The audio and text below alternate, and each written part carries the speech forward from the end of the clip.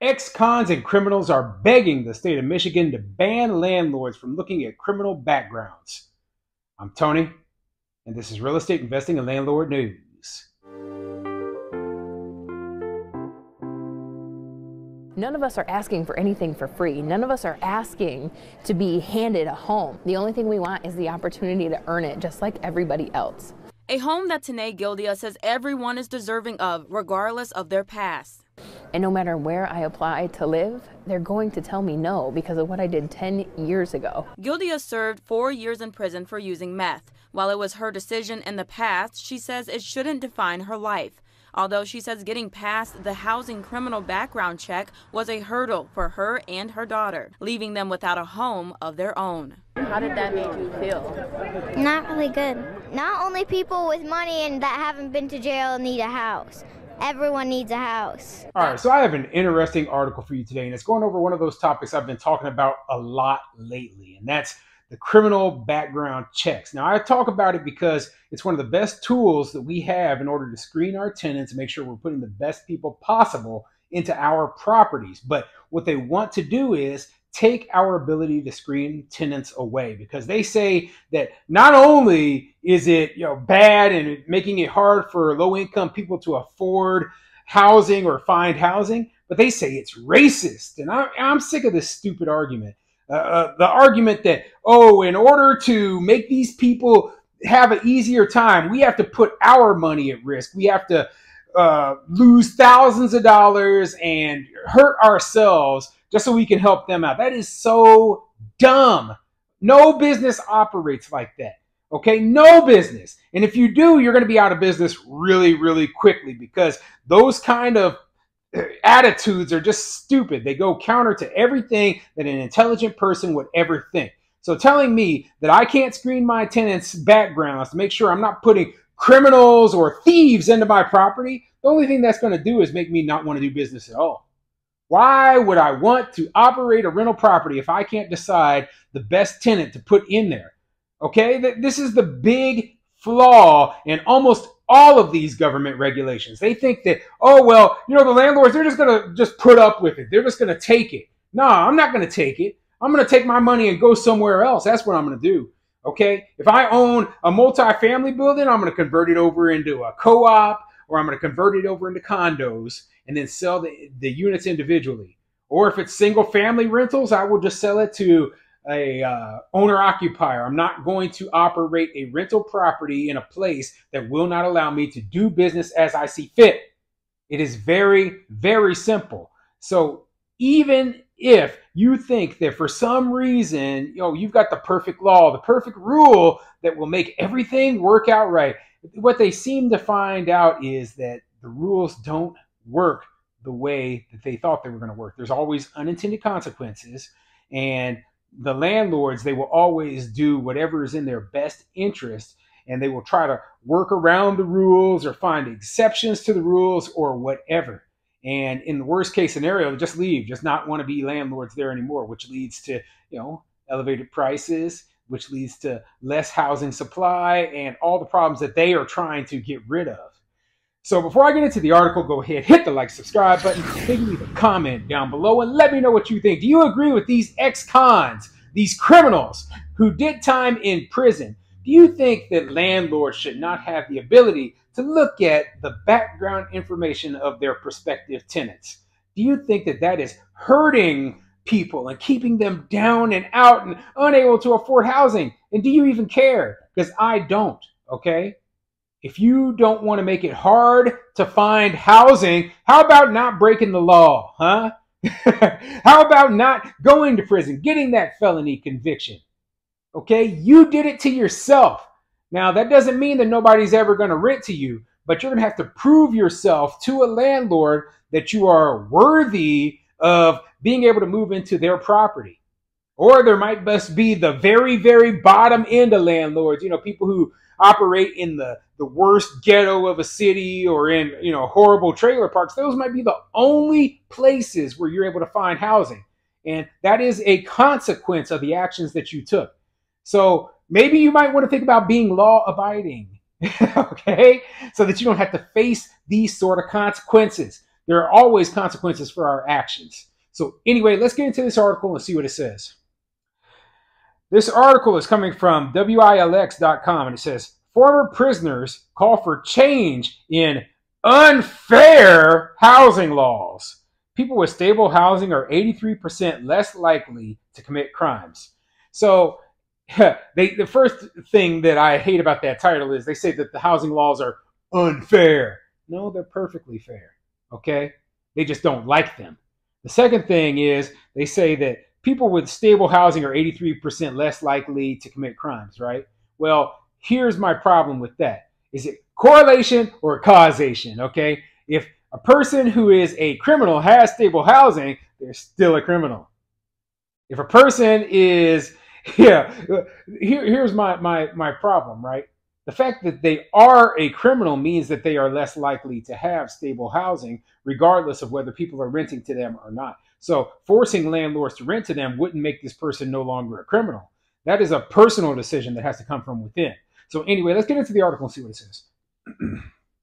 Lansing, Michigan. None of us are asking for anything for free. None of us are asking to be handed home, said Tane Gildea. The only thing we want is the opportunity to earn it, just like everybody else. A home that Tane Gildea says everyone is deserving of, regardless of their past. No matter where I apply to live, they're going to tell me no because of what I did 10 years ago, said Gildea. Gildea served four years in prison for using meth. While it was her decision in the past, she says it shouldn't define her life. You know, I'm a law enforcement officer, okay? So I know more about sentencing and how much time people get in prison than the average person does.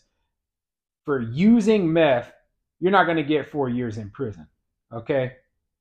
Not unless you had significant criminal history before that. And then, you know, they tack, and the crime that you committed probably was selling meth.